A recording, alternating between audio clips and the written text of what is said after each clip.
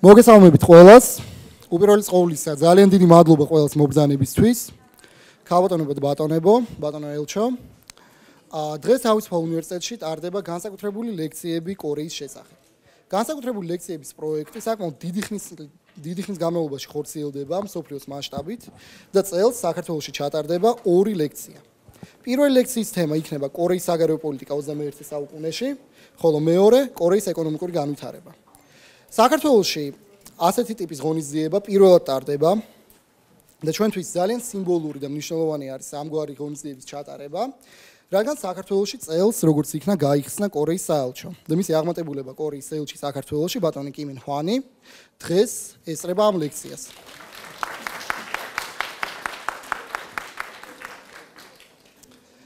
ლექციას კორეის საგარეო პოლიტიკის შესახებ წაიკითხავს სოგანგის უნივერსიტეტის საგარეო ურთიერთობების ინსტიტუტის დეკანი ბატონი ჯე ჩუნ კიმი.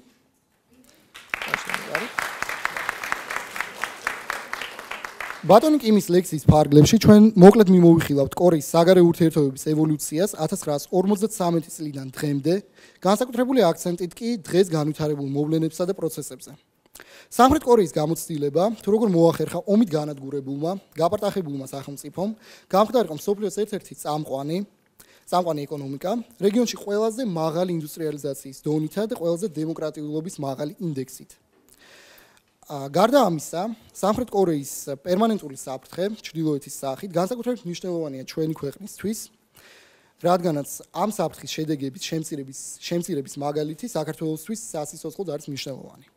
რაც შეიძლება მეორე ლექციას, მას აიკითხავს კიომინგის უნივერსიტეტის ადამსის კოლეჯის დეკანი, ბატონი ჩუნგ სუსო. ამ ლექციის მთავარი თემა იქნება ამ ლექციის მთავარი თემა იქნება კორეის ეკონომიკური განვითარება, ხოლო იმისთვის ლექცია იქნება იმის შესახებ, რომ სოფლიოს ყველაზე განვითარებულმა ეკონომიკამ მოახერხა გადაქცევა სოფლიოს სიდიდით მეცხრე საექსპორტო ეკონომიკად სულ რაღაც 60 წელიწადში.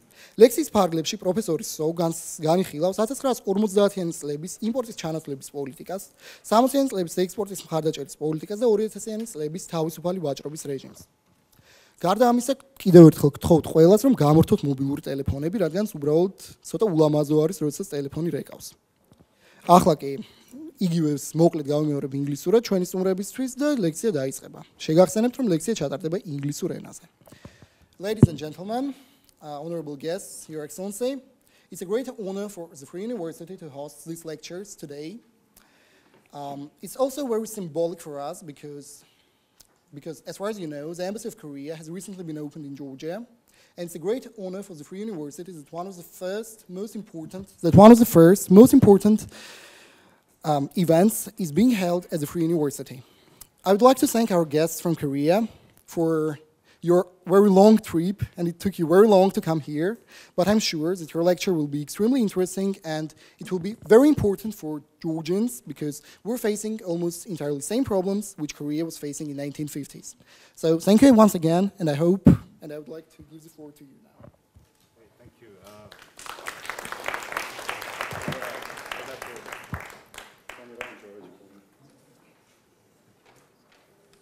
Can you turn it on for me? It is on. Is, is it on? I, I don't think microphone is.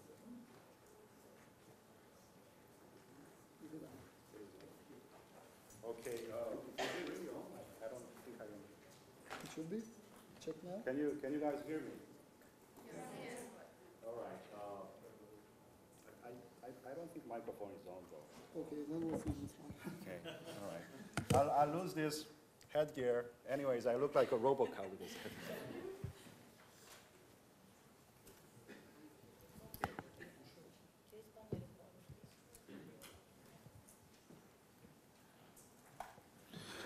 Okay, uh, thank you very much for your warm hospitality. I am very much impressed, uh, particularly those Korean national flags hoist at your desk. Uh, I feel very much like I, am home here. Uh, thank you very much, uh, Dean Professor and Professor of, of, of uh, this wonderful university, Free University. I heard that this is like the best university in Georgia. So it brings me a lot of pleasure and, and personal honor uh, to talk about Korea's foreign policy in front of the most intelligent students in the very best university uh, in, in Georgia. Uh, my name is Jae Chun Kim, as I was introduced by my good friend there, George. Although uh, I was introduced in Georgian language, but I'm pretty sure that he said a lot of good things about, about Professor Kim. Uh, I, I, come from uh, Seoul, Korea, but I was born in this small city, not small, but third largest city uh, by the name of Daegu. Uh, by the way, Daegu is, is the city where Professor Seo's university is located. Okay, I, I was born and raised in, in the city of Daegu uh, until I was very little. I think it was seven years old. When I was seven years old, I, I moved to, to Seoul and I received schooling uh, from, from Seoul. So I, I, think of myself as Seoulite. It's, it's like a New Yorker, you know, people who live in New York, we call them New Yorkers, right? And people who live in Seoul, we call them Seoulites. So I'm a Seoulite, and I, I became a, a, professor of Sogang in year 2004.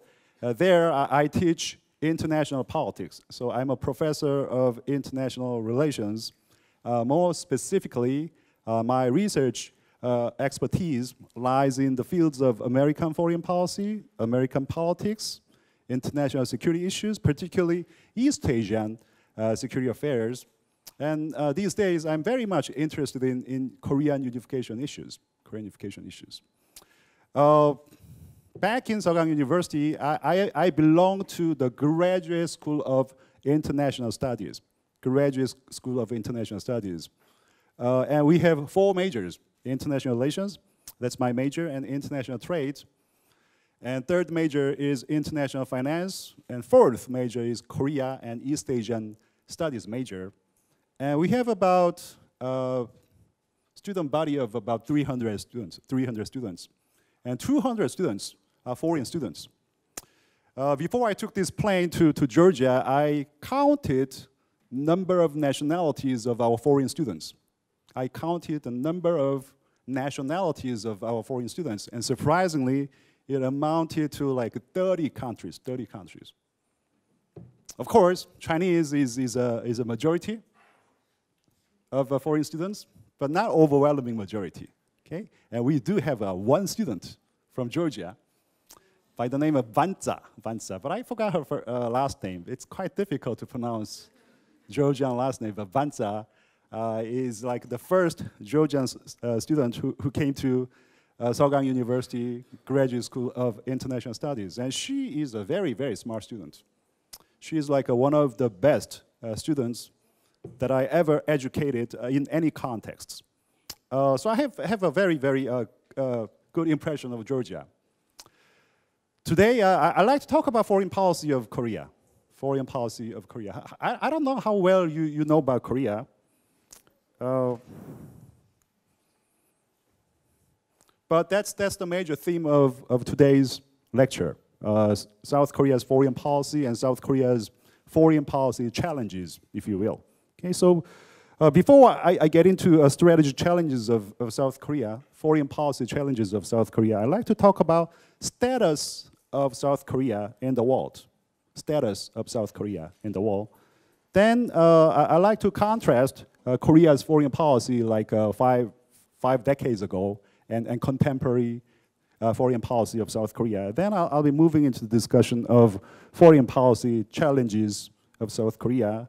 And lastly, uh, the manners in which the existing, the present uh, uh, government of South Korea has responded to a number of strategic challenges that South Korea is faced with. we now have this woman president uh, by the name of Park Geun-hye.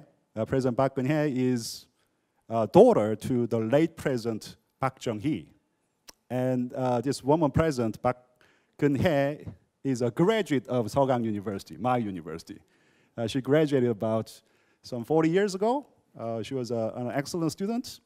And, and that is the reason why I think of our Sogang University as a ruling university, because we produced uh, the, uh, the incumbent president of South Korea. All right, let me, let me talk about South Korea's status in the world And I, I'm not really sure how much you are familiar with South Korea, but in my personal opinion, South Korea is pretty decent country, pretty powerful country, as a matter of fact. As in 2013, as in 2013, South Korea ranked about 10th or 11th economic power, 10th or uh, 11th economic power measured by GDP, gross domestic product, in 2013. Of course, the, the number here uh, differs from one statistical source to another because uh, the, the number that Professor Seo has is a little bit different. Uh, Professor Seo's number is like 13th. South Korea, uh, uh, as of 2013, was a 13th largest economy measured in terms of GDP. And also, in terms of military power, South Korea ranked about eighth, eighth in the world. In terms of money that we are spending on military, South Korea ranked eighth in the world. So that means in terms of this hard power, physical power, South Korea is about top 10 country in the world, top 10 country in the world, okay? And I, I think this number is very impressive to me because when South Korea was devastated at the, end of, at the end of the Korean War in 1953, South Korea, uh, after the Korean War was over in 1953, was one of the most impoverished countries, one of the poorest countries in the world. So from there to get here within like a 60 year time period was a remarkable accomplishment. South Korea is a pretty powerful country in terms of soft power as well, in my personal opinion. There is a world of difference between hard power and soft power. You guys know the differences between hard power and soft power? Okay, you nodded. You know, so you got to answer. Okay, what is what are the differences? Soft power is like culture. Uh, for example, uh, K-pop and K-dramas and etc. is the part of soft po soft power too. So, for children. you got that right, actually. Yeah, hard power is is made up of this physical power, coercive power, palpable power, with which you can coerce somebody into doing something that you would not otherwise do. In international politics, we define power in such a manner that if I have power over you guys, you will do what I want you to do that you would not otherwise do. Okay, there are two ways. Two ways. Say that I'm, a, I'm your professor of international politics, and out of the blue, I ask you to turn in your term paper by the end of October. How many days are there left in October? Like four, five days. Okay. So turn in your term paper. You gotta finish off your term paper, and you gotta, you know, submit this term paper by the end of October. Okay. And you'll have to turn in your term paper, right? Because I'm your professor. And if you do not turn in your term paper, I can flunk you. I can give you F. Okay? So for fear of that, for fear of punishment, for fear of penalization, you turn in your term paper by the end of October. And that's my hard power. That's my hard power in action. Because you are turning in term paper because of the fear of punishment, because of the fear of penalization. But you turn in your term paper not because of the fear, but because you like Professor Kim, but because you want to please Professor Kim. Because you want to make Professor Kim very happy by turning in the term paper by the end of October.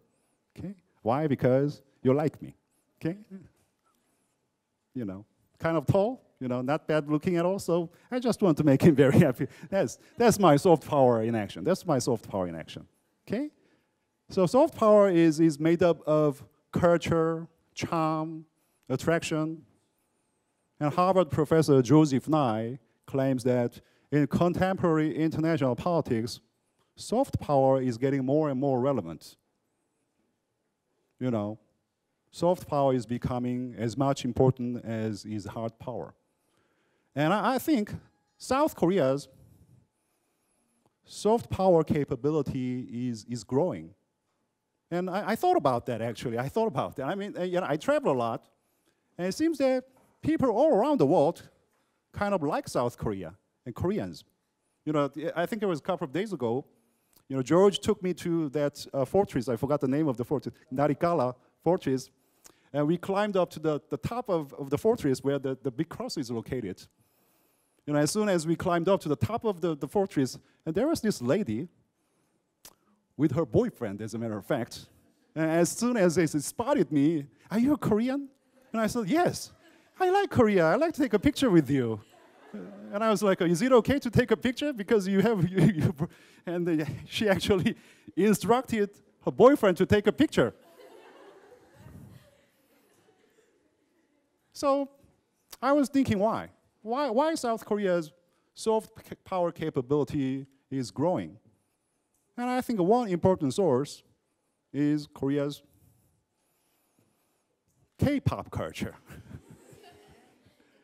K-dramas, you know, Korean popular songs. Maybe uh, that is the, why, the reason why South Korea's soft power, likability, uh, you know, South Korea is, is being liked by, by many people all around the world. You know, as, as I said, I, I travel a lot, and I, I was in, in Venezia this, this year, early this year, and I was walking by, and one guy actually shouted at me, are you South Korean? Yeah, I said, yes, and Psy, Gangnam Style. I like Gangnam Style. I like South. God bless. And it's the kind of you know, reception that I receive uh, from people all around the world. So uh, K-pop culture is uh, one important source of Korea's soft power capability, potential, I believe. And, and another source, I believe, is Korea's transnational companies, multinational companies. You know, companies like Samsung, LG, Hyundai, Kia, you know, by definition, these companies do not really have any nationalities because they are multinational companies, transnational companies by definition. But you all know that Samsung is from South Korea, Kia, LG. So if you like Samsung mobile phone, that will certainly you know, enhance South Korea's national image, I believe. If you like TVs from, from LG, that'll enhance South Korea's you know, positive image that, that you have. Kia and Hyundai as well. So I, I think these South Korean multinational companies is, a, is another source of South Korea's soft power. And I was thinking yesterday, and maybe another source is professor like me, professor like Seo Jung-soo is, is also an important part of South Korea's soft power potential or capability. Why? Because what we are doing here is, is public diplomacy. Public diplomacy. You know, we, we, we like to leave a good impression about South Korea here. Why? Because you know what public diplomacy is? You, you know the difference between traditional diplomacy and public diplomacy? You, you want to give it a shot one more time? What are the differences between traditional diplomacy and public diplomacy.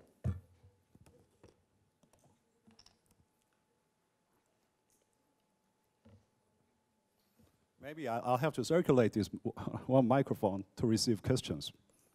Any, anybody wants to give it a shot? Anybody? Because I, I want this, uh, this lecture to be more interactive. Instead of just me pouring my ideas onto you guys, I, I want to receive some feedbacks.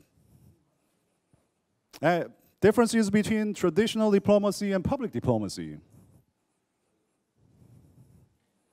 Maybe a bit too tough a question, I guess. You know, traditionally, diplomatic activities had been conducted by career diplomats. Traditionally, diplomacy was an exclusive affair between governments. You know, professional diplomats they cut these backroom deals in these secret rooms behind the curtains. Okay? And we'll have to accept those results of these secret deals conducted by Korea diplomats. Uh, you know, traditionally, years ago, we did not have much to say about the results of, the, of those diplomatic negotiations. But now things have changed. Now things have changed. And I, I think public opinion or mass public or ordinary people like you and I, not Ambassador Kim here, uh, ordinary people like you and I are making greater impact on the making of foreign policy. You know, landscape of foreign policy making has changed dramatically. You know why? I can think of two reasons. First, because of the advance of communication technologies, because of the internet, because of what I would call TGIF. You know what TGIF stands for? Thank God it's Friday, right? Thank God it's Friday. No, TGI stands for here tweeting, Twitter, Google, internet, and Facebook, TGIF. Because of the emergence of tweeting, interneting, you know, Google Dome, Facebookistan, you know, I jokingly call Facebookistan and Google Dome. Now we instantly find out the decisions that these, these you know, diplomats are making. And uh, we make this knowledge public, and we, we like to make inputs into those decisions. Okay? Like years ago, years ago, I think it was 19, I don't know, I forgot when it was, but the, the former president Lee Myung-bak of South Korea decided to resume importation of American beef without consulting with mass public. There was a you know, huge backlash because people got angry. President, you should have consulted with me before you made such a decision to import American beef. And people believe that American beef has these, you know, you know, germs or, or viruses for, for mad cow disease. So you should have consulted me with before. So there was a, you know, big time candlestick demonstration going on, you know, in front of uh, South Korea's, you know, Seoul's city hall. Okay, so now now we want to become an important part of diplomacy. Now we are becoming a, an important foreign policy make, maker as well. So uh, you know, I, I and Professor Seo think of ourselves as civilian diplomats, civilian diplomats. And second reason why, why public diplomacy is getting more and more important is because of the, the rise of the number of democracies. You know, since the end of World War II, the number of democracies has proliferated in the world. So now the world is populated with more and more democracies. So more democracies mean what? In these democracies, there are institutional mechanisms with which you can constrain or intervene in foreign policy decision-making procedures of these governing elites. So the uh, number of democracies is on the rise, and because of the advance of communication technologies, mass public, well, public opinion is becoming more and more important in terms of making foreign policies. And that is the rationale for doing public diplomacy. Because you guys are making a, a great impact on the making of Georgian foreign policy, on Georgian foreign policy making. And that is the reason why we are targeting our foreign policy efforts to students or civilians, mass public in foreign countries. So we're not just uh, enjoying our time here. So what we are doing here is, is a part of Korean public diplomacy. So for a variety of reasons, South Korea's soft power capability is also growing, not just hard power.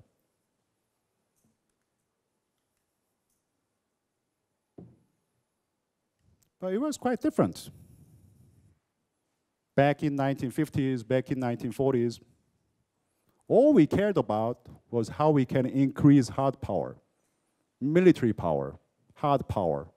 In 1945, when South Korea, back then it wasn't just the South Korea, unified Korea, finally regained independence from Japanese colonial rule, we were a very, very poor country.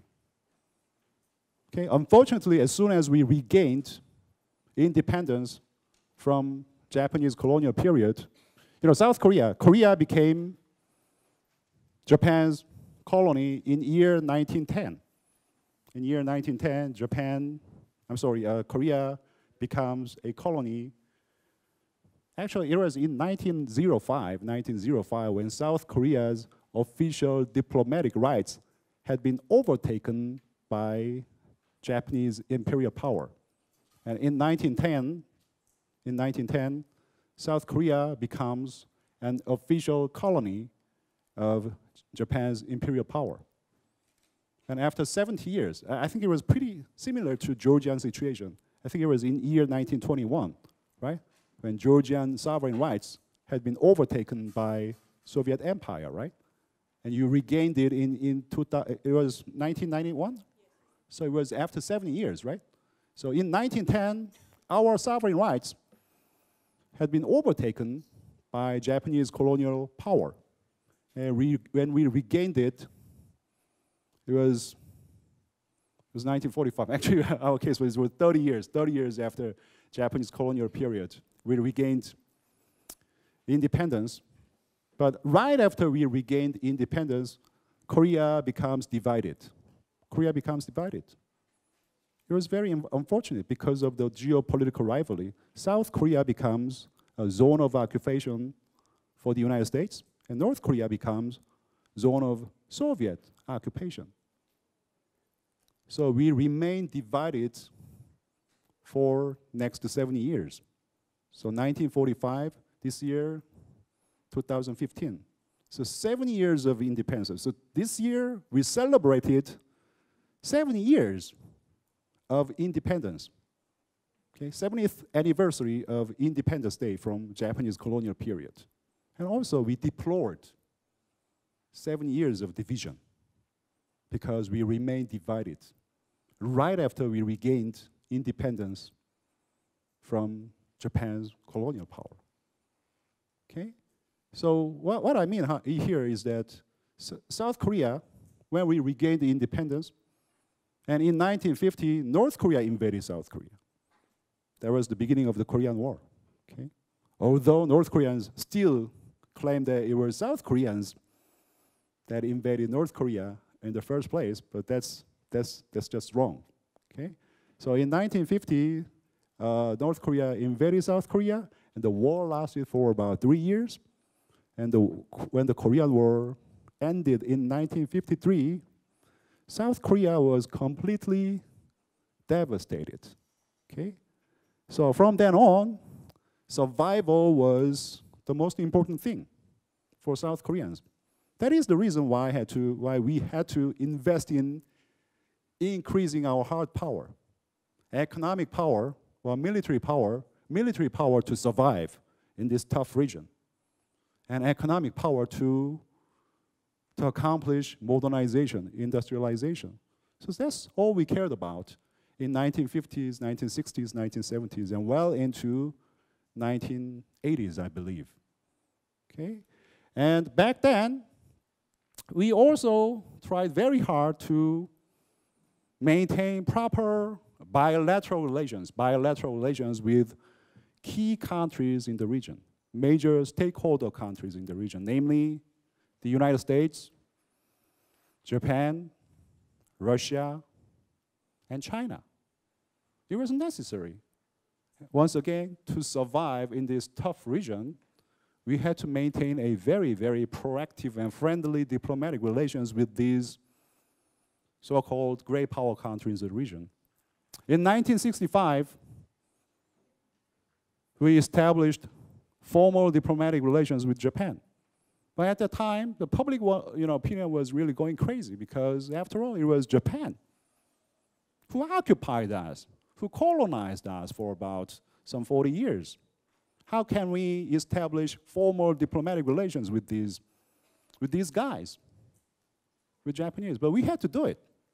We had to establish, we had to mend fences, and we had to establish formal diplomatic relations with Japan to survive and I think uh, Professor Seo will talk more about this decision, important decision. To economically uh, prosper, we had to establish formal diplomatic relations with Japan. It was necessary. In 1990, we established formal diplomatic relations with Russia, Soviet Union. Soviet Union was also our enemy, former enemy. But we had to do this because we wanted to survive. without maintaining good relations with these important neighboring countries, you know, we could not ensure state survival because we were so weak. We were so weak. In 1992, we established diplomatic relations with China. Not Taiwan, but People's Republic of China, Communist China. You know, we fought against Chinese during the Korean War. At the time of Korean War, Taiwanese actually helped us. In order for South Korea to establish formal diplomatic relations with Chinese, we had to abandon our long-term friendship with Taiwanese. I vividly remember in front of Taiwan embassy in Korea, there was a huge demonstration going on. How can you do this to us? How can you do this to us? You know, we have been your friends for a long period of time. But you desert us, you, you abandon us, and you, you, you, you shake hands with these, you know, communist Chinese. But it was necessary. I think, uh, in my opinion, it was a practical solution. Because in order for South Korea to survive, we had to mend fences with Chinese. People's Republic of China. That's the official name of China. And Taiwan has official name as well, Republic of China. Well, we had to get rid of the relationship with the Taiwanese Republic of China to establish formal diplomatic relations with uh, communist China. I think it was a practical solution. It was a practical solution. But then again, it was all we cared about. 60s, 70s, 80s, early 1990s, in order for South Korea to survive, uh, we, we uh, put in our efforts to maintain proper bilateral relations with these key stakeholder countries in the region. But South Korea's foreign policy now, as I said before, now we are working on our soft power as well, not just hard power. We are working very hard to increase our soft power capability. Because as I said, in contemporary global politics, soft power may be more relevant. Not that I'm saying that hard power is unimportant, and South Korea is also working very hard to increase hard power capability, but at the same time, we are working very hard to increase our soft power capability. You know, soft power, uh, I, I, think is really, really important. You really think about some countries, like Russia, like Russia. Russia is a very powerful country, has a great stock of hard power, right? Not economic power, but military power. It's a formidable power. But does Russia garner respect from the international community? Does Russia, is Russia able to retrieve or, or garner, mobilize support from the international community? Unfortunately not. Not many countries like Russia because of, of lack of soft power. And I think it's very unfortunate because in my personal opinion, Russia has great soft power potential as well. You know, Tolst, Tolst, uh, it's uh, difficult to, uh, Tolstoy, right? Dostoevsky. You know, I remember growing up reading Tolstoy and Dostoevsky. Dostoevsky. Dostoevsky. Dostoevsky. All right. My Russian is worse than my Georgian, sorry. I remember I was growing up, I grew up listening to Tchaikovsky. Okay, so they have great soft power potential, but they, they didn't really take good care of their soft power potentials. So people like uh, Russian literature, people like Russian music, but people don't like the country Russia. Okay, so in, in, in international arena, Russia is having difficulty to mobilize support from the international community. Japan as well, third biggest economy in the world. But I, I don't think Japan has great soft power because Japan doesn't come clean about their past mistakes, atrocities they committed during World War II. They are denying, they are not apologizing. Okay? Now, we all make mistakes, right? We all make mistakes. In our lives, we all make mistakes. In international politics, countries, states do make mistakes. The big importance here is whether you, you come clean about your past mistakes and offer sincere apologies to neighboring countries. Germany has done that. but Japan has done that. So I, I don't really think uh, Japan is, is being able to mobilize support from the neighboring countries in East Asia. Japan's military power is increasing. Japan still, after all these years of repression, is still number three country in the world in terms of economy. But in terms of soft power, I, am not really sure whether Japan is a, is a st strong soft power country in the world. So that, that is the reason why we try very hard to cultivate our soft power capability. And I think so far South Korea has done a good job. So uh, that's South Korea's foreign policy. Now we, we concentrate more on soft power capability. Now we are trying very hard to strengthen our multilateral diplomacy. In addition to bilateral di diplomacy, we are trying very hard to become an important player on these multilateral settings. Hi there. You can come down and sit down if, you, if you're interested in the lecture.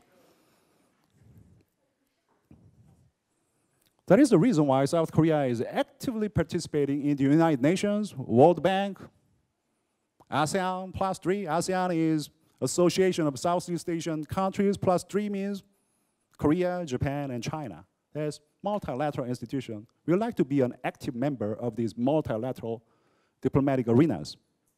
Okay? APEC, ALF, CICA, and whatnot. We have become a number of multinational, I'm sorry, multilateral institutions. And also, as I said before, South Korea, although we are a pretty powerful country, top 10 powerful country in the world, we are not powerful as the United States is, we're not powerful as China is. We think of ourselves as an important middle power country in the world, middle power country.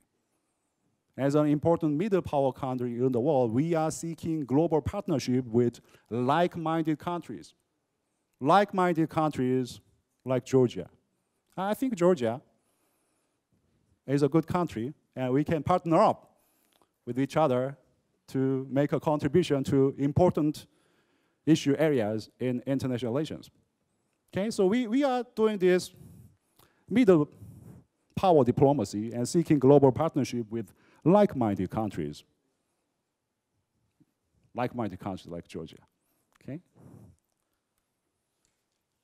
As a result, we were able to host uh, you know, important multilateral uh, discussion forums, such as in 2010, uh, we hosted G20 summit meeting. G20 is an important global governance that emerged in the wake of 2008 financial crisis, world financial crisis that began in the United States because of the subprime mortgage crisis that spread like bushfire to the world in year 2008.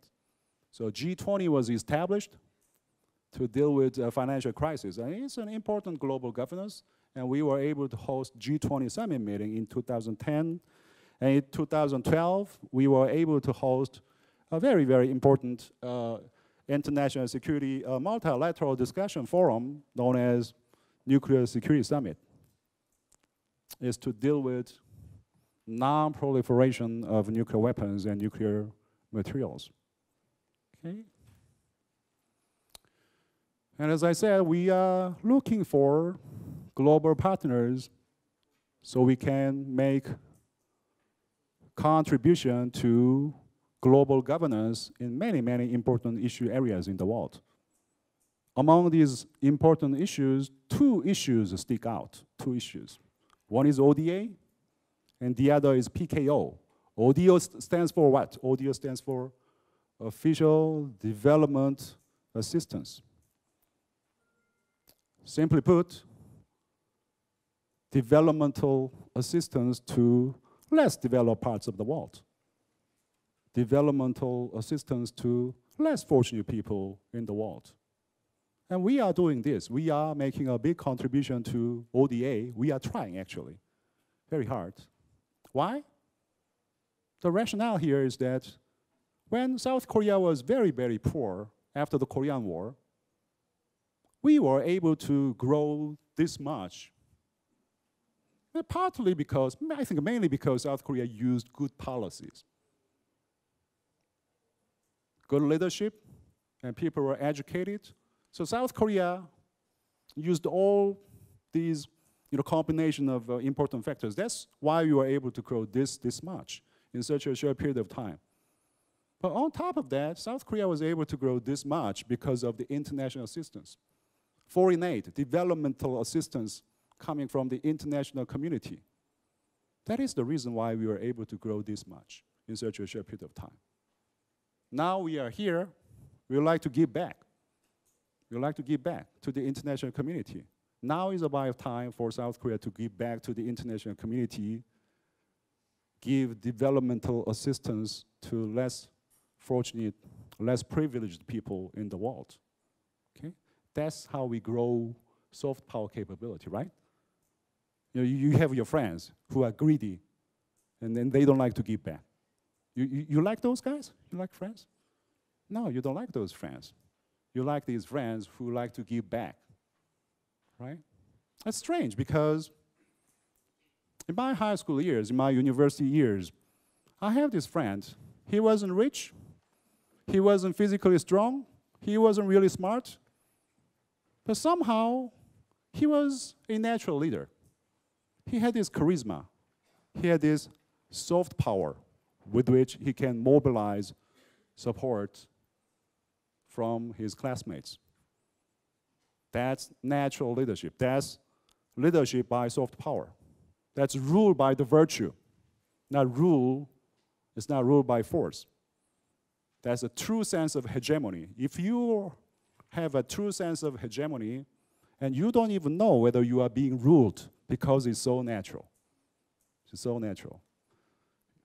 So that's a true sense of hegemony, I believe. Anyway, uh, we, we like to give back. Also PKO, peacekeeping operations, all around the world.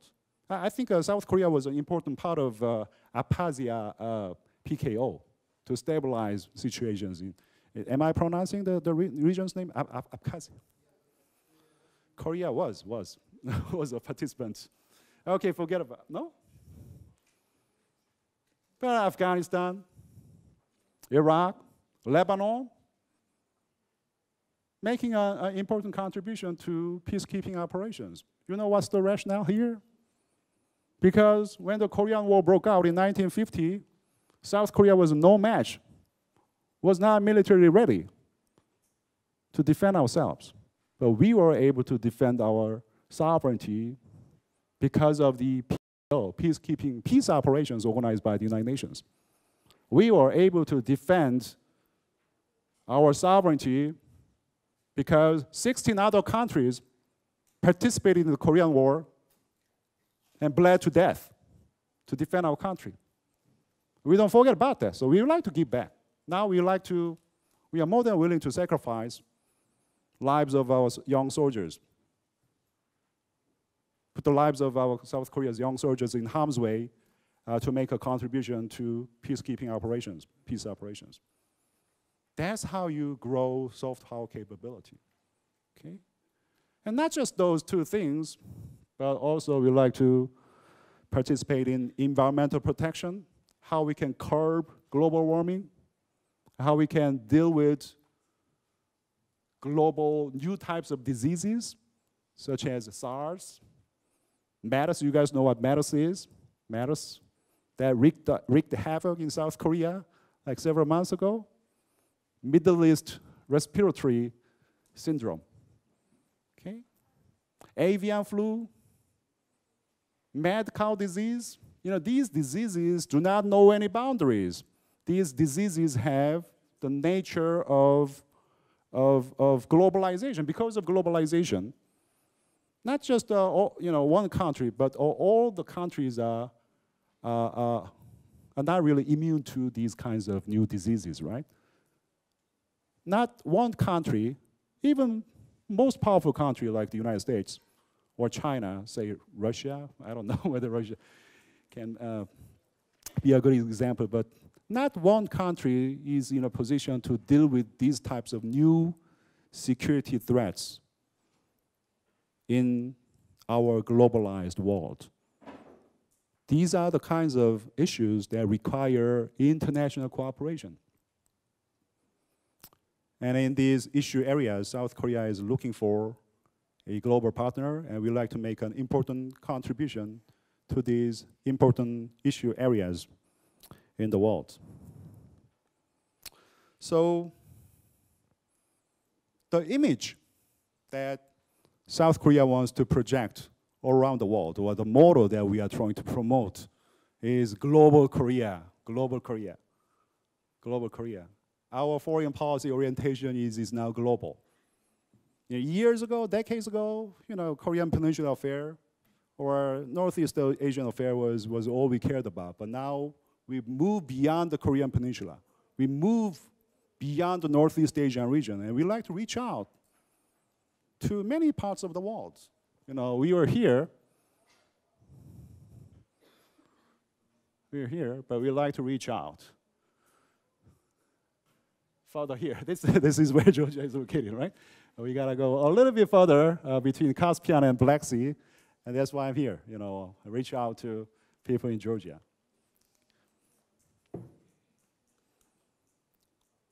As a consequence of reaching out, uh, you don't really have to take this seriously. Uh, you know, global leaders come from South Korea. Ban Ki-moon, you know Ban Ki, who Ban Ki-moon is, right? Secretary General of the United Nations is from South Korea. And uh, Yong Kim, uh, he now is an American because he became an American citizen at the age of, uh, I don't know, 13, 20? But uh, he's, a, he's a Korean American. Jim Kim is, is leading, is the president of World Bank. Okay?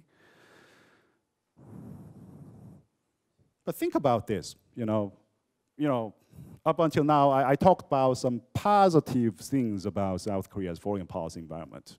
How South Korea is great in terms of hard power, in terms of soft power. The problem with South Korea is that you go back to this region where we are located, this very region. You know, to our north, we still have this arch enemy, North Korea, right? A little bit further north, we have Russia.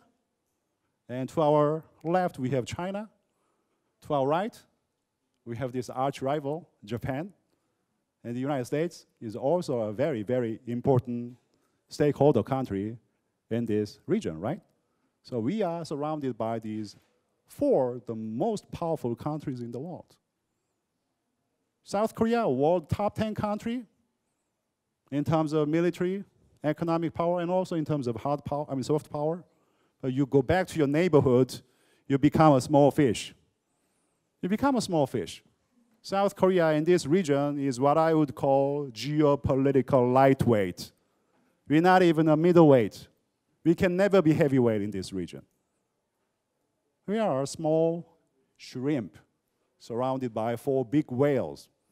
That's the metaphor that we actually use. We are like a, a little shrimp surrounded by four big whales. That is the reason why South Korea and the Korean Peninsula has become the subject of great power rivalry all these years, all these years. We have never aggressed to our neighboring countries. We have become victims of great power rivalry so many times. I can't even remember you know, how many times South Korea or Korea has been invaded by foreign countries. Okay? That is our destiny. That is our destiny. And this is really tough, tough neighborhood. Tough, tough neighborhood. I don't like this place, as a matter of fact. In your life, if you do not like neighbors, what can you do? You can move out, right? You can move out. I don't like this neighbor here. It's such a crime ridden neighborhood. You know, crimes are taking place so frequently here, so I like to move out. Can you do that in geopolitics?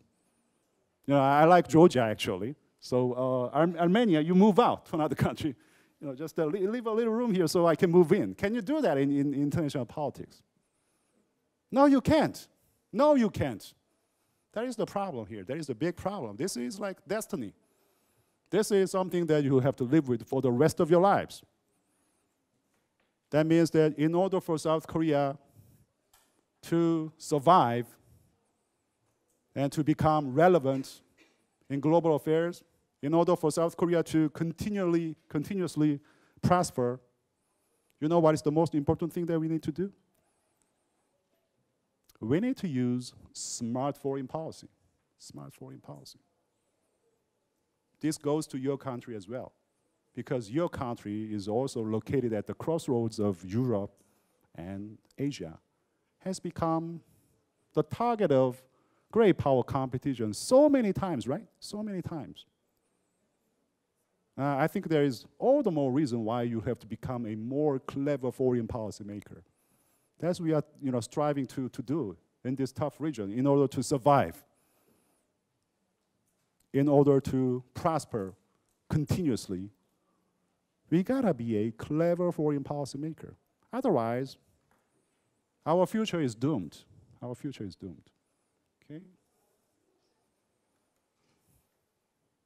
How am I doing with my time, by the way? Am I running out of time? Huh?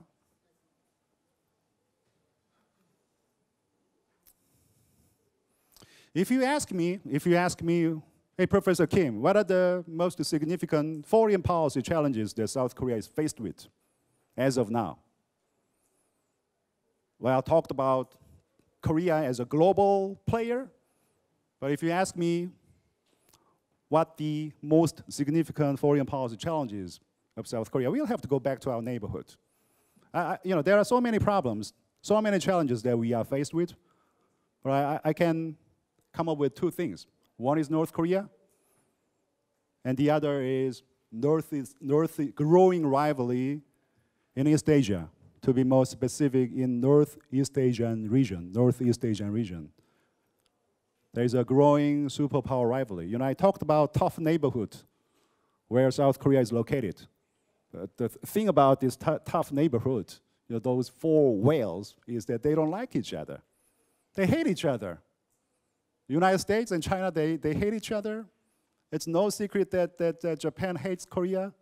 Korea hates Japan. China hates Japan, and Japan hates back China.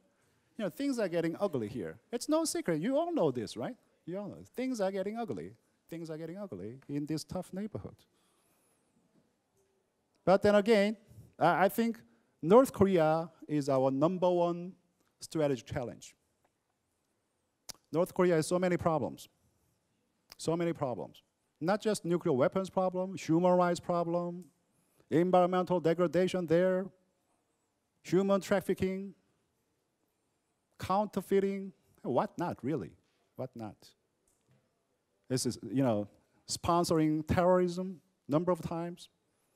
Okay, but among those many problems that you can associate with North Korea, uh, nuclear weapons problem is probably the most significant problem.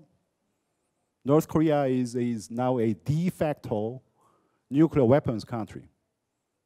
Although we do not really recognize or acknowledge North Korea as official nuclear weapons country, but they do have nuclear weapons.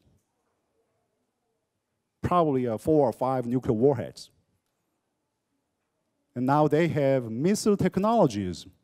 They are working on intercontinental ballistic missiles, ICBMs, intercontinental ballistic missiles with which they can deliver nuclear warheads to the California shore of the United States.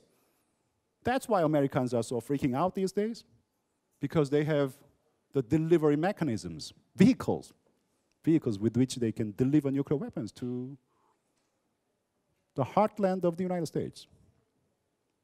And they have the capability to make nuclear warheads smaller so that they can you know, put them in their, their backpack, you know, carry these you know, nuclear warheads so that they can use on the battlegrounds. It's really a significant problem that not just South Korea is faced with, but people all around the world because North Korea has the track record of diverting these technologies and weapons to would-be international terrorists. It's a significant problem. The second problem that I can think of with North Korea is that unification issue here. With all the limitations that North Korea has, we like to unify both Koreas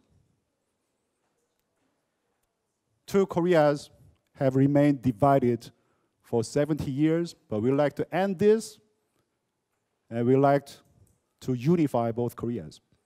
South Korea, North Korea, Korea is the only country that is has, has, has remained divided after the Cold War. You know, now Cold War is a longer history, but still re- remain divided. Why do we want unification? If you're asking why, why do you want unification, Professor Kim? And my answer here is that that is the right thing to do, because that is the right thing to do, because we are the same nation. We have been unified for about, about 1,000 years before the country became divided because of the tragedy of superpower rivalry, because of the rivalry between the United States and Soviet Union. They are the ones who divided us, not Koreans. Okay? And the second reason, maybe a you know, unified Korea uh, will be a uh, big contribution to the peace in the region. And it's going to become a uh, source of economic benefits to Northeast Asia region and, and to the global economy. But I don't really want to go into that territory. That becomes a little bit difficult here. So, uh, you know, unification policy, nuclear weapons policy, it's really difficult to coordinate these two policies. Policy to denuclearize North Koreans and policy to unify two Koreas. Why? You know why? Because, because if I push, if we push North Koreans too hard on weapons issue, then that's going to decrease our flexibility in unification policy. There's engagement policy. We like to also engage North Koreans to unify. But if we push North Koreans too hard, then, then that, that'll complicate our policy to, for unification. Seems that I am losing uh, interests uh, of a lot of students here. Uh, anyways, uh, North Korean uh, problem is probably the most important problem that South Korea is faced with. And I talked about growing rivalry in the region because Korea is constantly placed in a position to make choices, say between the United States and China. In recent years, you know, the US is uh, our long-term alliance partner. But Americans are asking, you know, are you with us on this issue or are you with Chinese? Maybe it's time for you guys to make a, make a choice between the United States and China. And Chinese are also asking us, are you with us on this issue, or are you with Americans? So that makes our foreign policy very, very difficult to make because of the growing rivalry between the United States and, and, and China over this very, very important region. Okay? You know, China's rise, you know how China has risen so rapidly these years, right? I'm not really against China's rise because China is an independent sovereign country, has all the rights to become more powerful country, to become more economically prosperous. Uh, one thing about China's rise is that China's rise is creating a lot of uncertainties in the region, a lot of uncertainties in the region, in region's geopolitical dynamics. Because China's rise is overturning the existing regional order. Now China is demanding great power relations with the United States great power relations, new type of great power relations. Previously, we were here. You know, we were inferior, and the U.S. was here. That was what it used to be.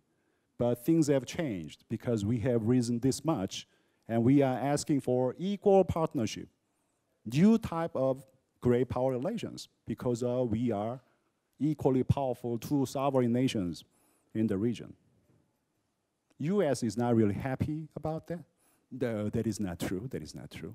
So in 2009, Obama declares what is known as pivot to Asia policy, rebalancing. Now we have neglected, neglected this very, very important region because of the Gulf War, because of the war against terrorism, because of Syrian situation, because of the Ukraine situation. But now we are reorganizing our foreign policy priorities and giving top priority to this region, Asia. Why? Because this is the most important region in terms of America's national interests. Okay, so Americans are, are back in Asia. So we are looking at intensifying, escalating great power rivalries in Asia.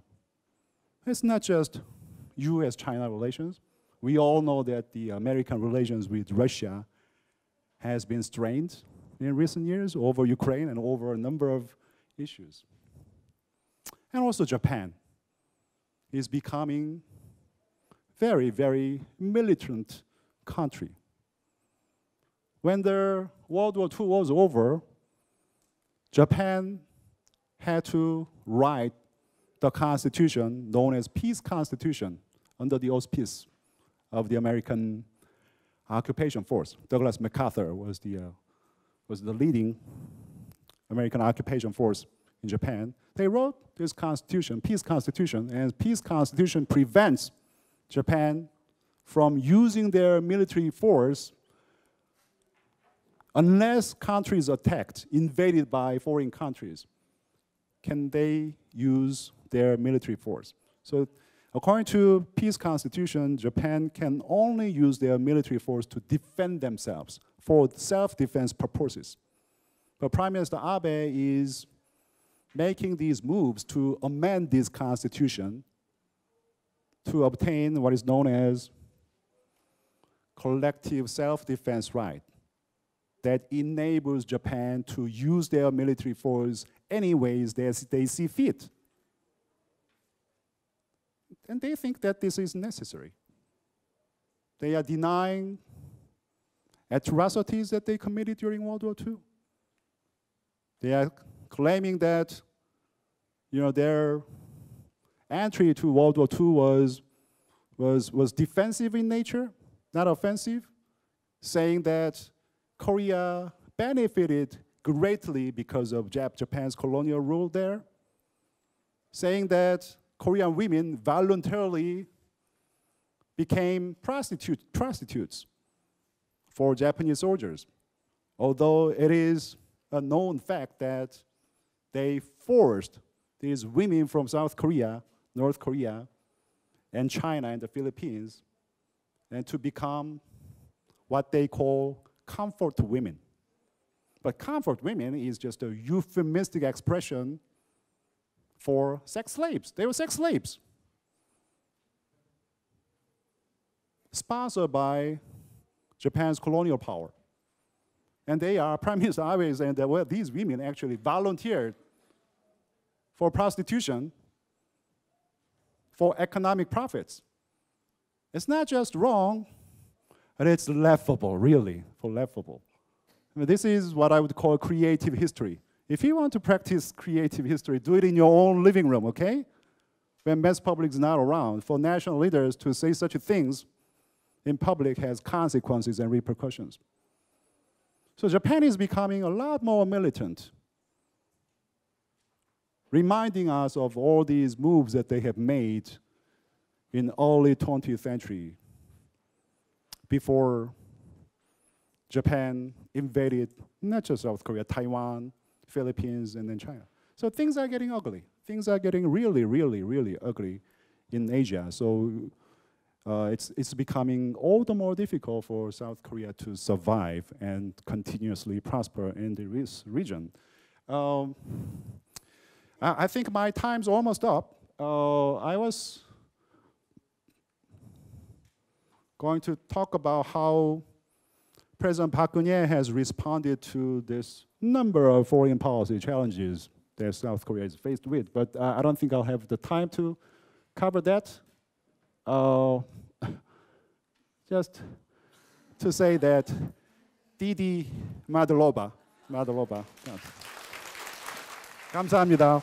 Oh, and I believe uh, I, I, have like a 10, 10 more minutes for questions and answers. You know, one thing about public diplomacy is that it's not just unilateral from here to there. Okay? Rather, uh, it's got to be, you know, two-way street. Okay, not one-way street from here to there. You know, one important thing about public, uh, public diplomacy is that we'll have to listen very carefully instead of just injecting our ideas into foreign mass public would like to listen to what you think about my lecture and South Korea and maybe uh, Super Junior or you know Korean, Korean pop singers. I can answer that too. Okay, thank you. Thank you for this very interesting lecture. Now we can move to the questions and answers part. Please raise your hand first and then. Yeah. Uh, thank you for very interesting lecture. Um, my first question is probably about the most important um, point of discussion that we can have, and that is about the unification of uh, North and South. And you said that it's a, it is a good thing to do, the right thing to do. But the question is, when do you think it's possible? Like, maybe a lot of people think it's unimaginable in next, for example, five years. But what is the um, time, like maybe 20 years, even 30 years, that this will be possible, that these two nations will be unified. And what do you think the younger generation thinks about this? Because, of course, many people want the two Koreas to be unified, but maybe younger generation has different idea. Yes, that's what I want to know. Very good Thank question. Uh, you know what? When, when the Soviet Union collapsed the way it did in late 1980s and early 1990s, no one really, no one really predicted the way Soviet Union would collapse that way in American strategic circle. Uh, I, I, I am a long-time student of American foreign policy, except for one person, Zbigniew Brzezinski, a former national security advisor to Jimmy Carter, President Jimmy Carter he was like the only person who predicted the demise of the Soviet Union, the demise of the Cold War international order. But CIA, you know, you know, analysts, all these analysts uh, had been written on the premise that Soviet Union would last for next 20 years, 30 years. So what I'm saying here is that, in my personal opinion, I think the days of Kim Jong-un regime, you know who Kim Jong-un is, right? Like, uh, I always get names confused because Kim Il Sung, Kim Jong Un, no, Kim Il Sung, Kim, Kim Jong Il, and Kim Jong Un. is like uh, the, the success, third successor. So I, I call them K1, K2, and K3. Uh, not to come, you know. So I, K3, I think K K3 is them. You know, days are pretty much numbered, because his his rule is based on fear, violence, there is a limit to which you can mobilize support simply uh, relying on force and, and, and brute force only. And all the indicators, you know, the evidence, you know, I cannot really uh, talk about of all those pieces of evidence here, but all these pieces of evidence uh, indicate that his days are numbered. But who knows? In 1992, uh, American foreign policy toward Kim K1 was based on this premise that the days of North Korea is, was actually numbered. North, Korea would collapse. That's a matter of time. But it didn't collapse. It lasted for 30 more years. 30 more years. So there are some, some factors that we cannot really uh, foresee. But uh, I, I think uh, their, their policy, North Korean policy, has internal contradiction this policy to continue nuclear weapons development and policy to, for economic development. They are mutually not compatible with each other. Because if you want to develop economically, you need to open up and you need to receive some, some help from the international community, but that's not going to happen.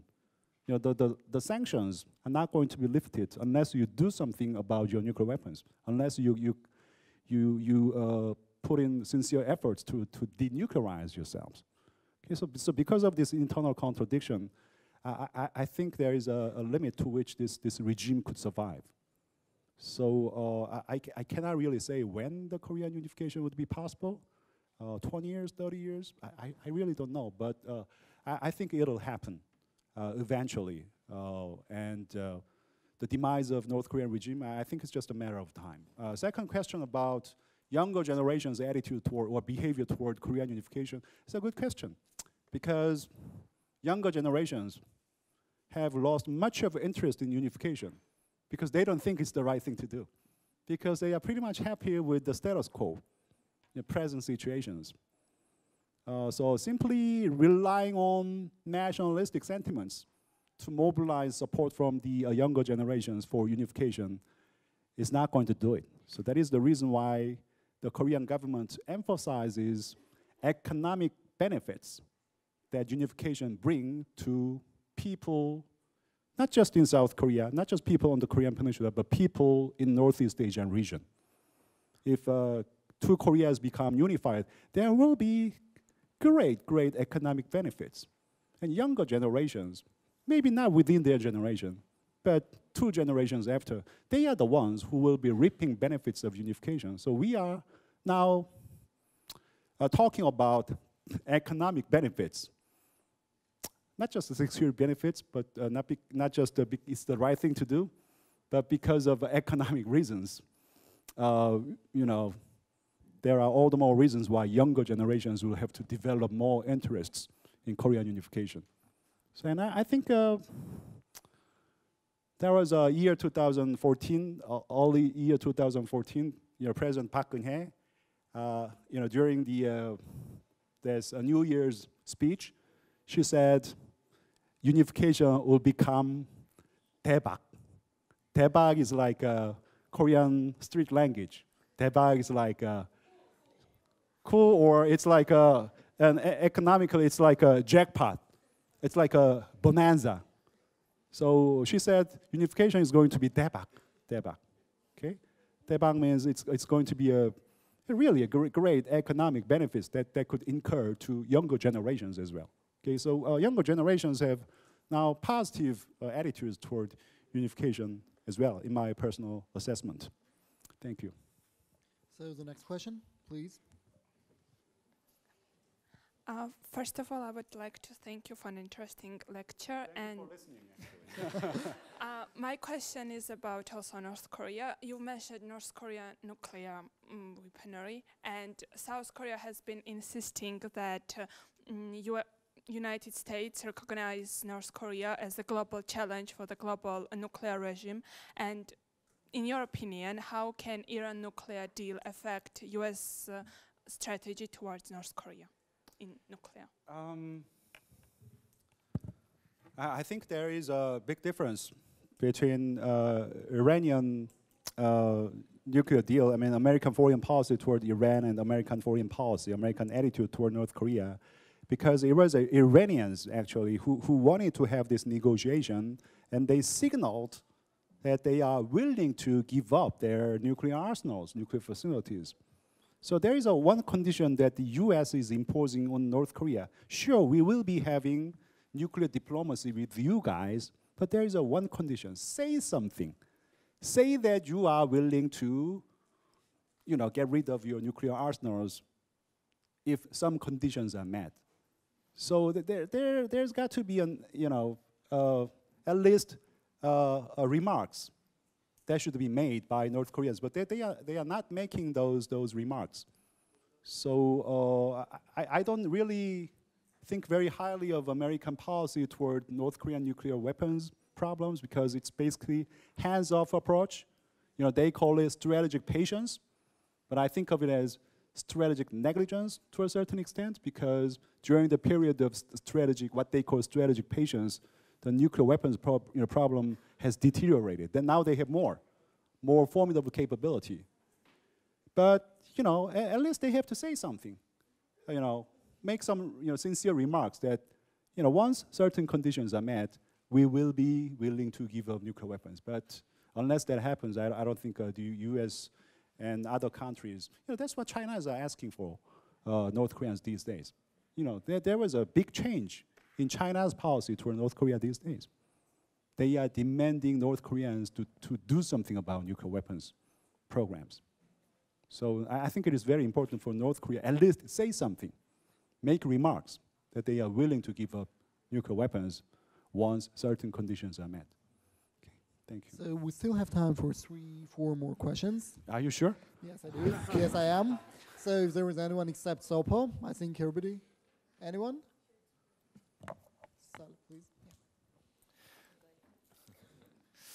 Uh, first of all, thank you for a very uh, interesting lesson uh, and lecture actually, it's not lesson. Uh, so I would like to reconcile two of the concepts that you have just made in your presentation, the soft power and also the mm, issues of North Korea. Basically, do you think that the investment investment is part of the soft, soft power, can be the part of the soft power, and if so, what are the lessons learned from the Kaesong industrial complex that, that the soft has been uh, working in the North Korea? Uh, do, do you see it as a mm, success story? And please explain also why, or if you don't see it as a success story, just tell us some of the experiences that uh, South Korea got in this extent. And also, at some part of your um, lecture, you said that there is special uh, organization, if I understood it correctly, that deals with the soft power in uh, somewhere in the South Korean government. Korean Foundation. Okay. Korean Foundation is solely in charge of running South Korea's public diplomacy to cultivate Korea's soft power. And not just okay. K-pop stars, ladies and gentlemen. Yeah. So, uh, big hands to Korea, Korean Foundation staff members, you know, here, really. So then later maybe I can ask some questions how it's administered. I mean, how the police priorities are set. set. That's that's also uh, quite of interesting. Thank you. Okay. Uh, I should have you know written down those questions actually. Uh, the, the question about Kaesong Industrial Complex, I, I think it is important uh, for both Koreas to expand our cooperation over Kaesong Industrial Complex. Uh, after North Korean provocations in year 2010, uh, uh, thinking of uh, it's, it's the name of, of a South Korean naval vessel, uh, Cheonan, Cheonan. Sinking of Cheonan vessel and the shelling of Yeonpyeong Islands, uh, South Korean government uh, decided to sever all the economic cooperations between the two Koreas, uh, unless you say uh, say something about your provocations, uh, unless you you you make remarks that that you regret what you have done uh, over Cheonan and, and Yeonpyeong, uh, we, we would disconnect all, all these cooperation channels between economic cooperation projects that had been going on between the two Koreas. But only one exception was Kaesong Industrial Complex. So I think of it as the last symbol of inter-Korean dialogues and inter-Korean cooperation. Uh, only this year, North Koreans threatened to close it down because the salary conditions are not being met. Uh, but so they asked for increase of salaries, to which we didn't really uh, respond positively. But they are the ones who finally, you know, ultimately decided not to close it down. So it's an important source of, of cash for, for North Koreans as well. And we think of it as an important symbol of inter-Korean uh, rapprochement and, and dialogue. So I think it is very, very important for both Koreas to uh, keep it open and expand, uh, you know, cooperation efforts uh, in, in, in Kaesong. Uh, but then again, I think we should be very careful uh, if we want to open big-time economic cooperation projects with, North Koreans. Uh, if North Koreans can divert you know, cash or money that they, uh, from these cooperations or projects to the development of North Korean nuclear weapons, because it has happened before. And uh, they, they, you know, in their constitution, they, are, they wrote that they are official nuclear weapons country. And it, in 2013, uh, K3 declared what is known as Byongjin strategy. Byongjin strategy is development of nuclear weapons and development of economy. Byongjin, like a simultaneous development of nuclear weapons and economy. So unless they uh, abandons, they abandon this, this policy of, of, of, of, of two policies, simultaneous policies at the same time, I, I think we have to be careful because you know, money that is created by uh, big economic projects can always be you know, diverted to the to, to making uh, weapons of mass destructions. That's why we are being careful. And the second question was, oh yeah, the agency that, that is uh, in charge of running South Korea's uh, public diplomacy is, is Korea Foundation, is, a, is an organized government organization uh, under the authority of the Ministry of, of uh, Foreign Relations. Uh, and besides that, I, I don't really know so they, they get funding from, from the Korean government, you know, taxpayers' money. Uh, and uh, besides that, I, I don't really uh, know the uh, organization and their the tasks that they uh, they have embarked on. Thank you. So one last question, and then we'll move to the second lecture. If there is any one who wants to ask, yeah. Hello, uh, thank you for our lecture. And when you were talking about the relationships between Japan and Korea, uh, I remembered one thing, actually one issue, and uh, I would like to hear your opinion about uh, Dokdo Island. I know that it's um issue between Japan and Korea. Significant one. Is, is that it? Okay, so uh, so disputes that we allegedly have over Dokdo, but but we don't believe that we are having disputes.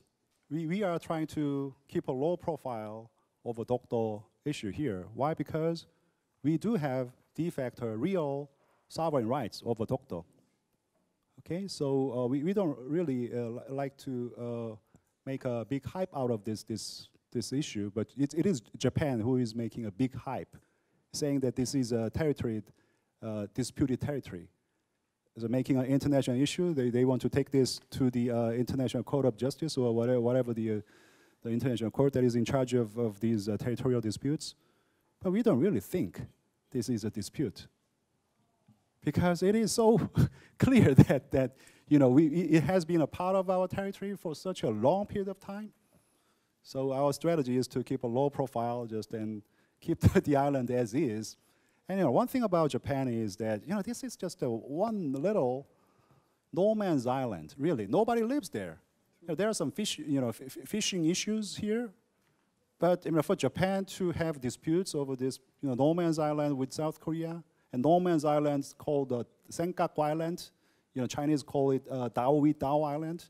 You know, for Japan to have these, you know, disputes uh, with neighboring countries is uh, deplorable because think about how Germany uh, dealt with territorial issues with neighboring countries. They pretty much gave them up and became a de facto, you know, leader country in Europe. Now, nobody really challenges Germ- Germans' de facto leadership in Europe, right? Because they came clean about their history issues. And as I said, people can make mistakes. So do states in international relations. Important thing here is whether you can have the courage to come, you know, come clean about histories. You know, Prime Minister of uh, West Germany, Brandt, going to the National Cemetery of Poland, knelt down, crying, offered uh, you know, sincere apologies. That's how you move the minds, hearts and minds of your neighboring countries. Japan never has really done such things to mend fences with neighboring countries in the region. So, to me, uh, Japan having these, you know, fighting over these little things is really deplorable. You, you are losing a lot by sticking to these smaller things. You don't want to do that. You know, in your life, you shouldn't do that. You know, just th- think about the big picture. In the grand scheme of things, what are the things that will benefit in the end? Think about all the moves that you will be making in terms of soft power, really. Then you'll become a great leader, I'm pretty sure. Thank you. I'm, I'm, afraid that my lecture was a little bit too difficult because I, I lost a lot of you know, students during the lecture. Maybe but they have examinations. Um, Maybe huh? they have exams. They have exams. Yeah. So. Okay.